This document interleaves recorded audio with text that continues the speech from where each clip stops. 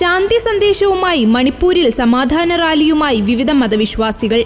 എല്ലാ മതസ്ഥരെയും പങ്കെടുപ്പിച്ചുകൊണ്ടുള്ള റാലി ഇൻഫാലിൽ നടന്നു.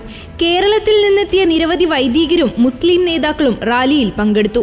മണിപ്പൂർ കലാപം രണ്ടു മാസമായി അശാന്തമായി തുടരുമ്പോഴും വർഗീയ വംശീയ പോരിൽ നിന്നും പിന്തിരിഞ്ഞ് സമാധാനം പുനഃസ്ഥാപിക്കണമെന്ന ആവശ്യമായി വിവിധ മതസ്ഥരാണ് റാലി സംഘടിപ്പിച്ചത്. ആർച്ച് ബിഷപ്പ് മെയ്തേ നേതാക്കൾ വിവിധ മത നേതാക്കളും റാലിയിൽ അണിനിരന്നു.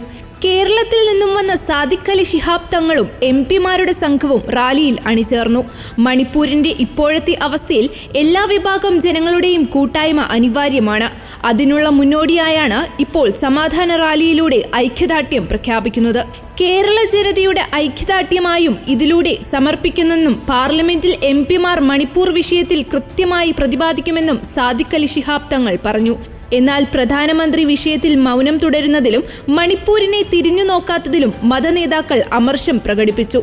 പ്രധാനമന്ത്രി വിചാരിച്ചാൽ ഇരുവിഭാഗങ്ങളുമായി ചർച്ച നടത്താമെന്നും വിഷയം രമ്യമായി പരിഹരിക്കാൻ സാധിക്കുമെന്നും യു എസ് പര്യടനത്തിനു ശേഷം പ്രധാനമന്ത്രി മണിപ്പൂരിൽ വരുമെന്ന് തങ്ങൾ പ്രതീക്ഷിച്ചുവെന്നും അവർ പറഞ്ഞു. ഇൻഫാലിൽ നടന്ന സമാധാന റാലിയിൽ കേരളത്തിൽ നിന്നുള്ള വൈദികർക്കൊപ്പം മണിപ്പൂരിലെ സ്ഥിതിഗതികൾ പ്രേക്ഷകരിലേക്ക് എത്തിക്കാനും ഗുഡ്നസ് ന്യൂസ് സംഘവും മണിപ്പൂരിലെത്തി.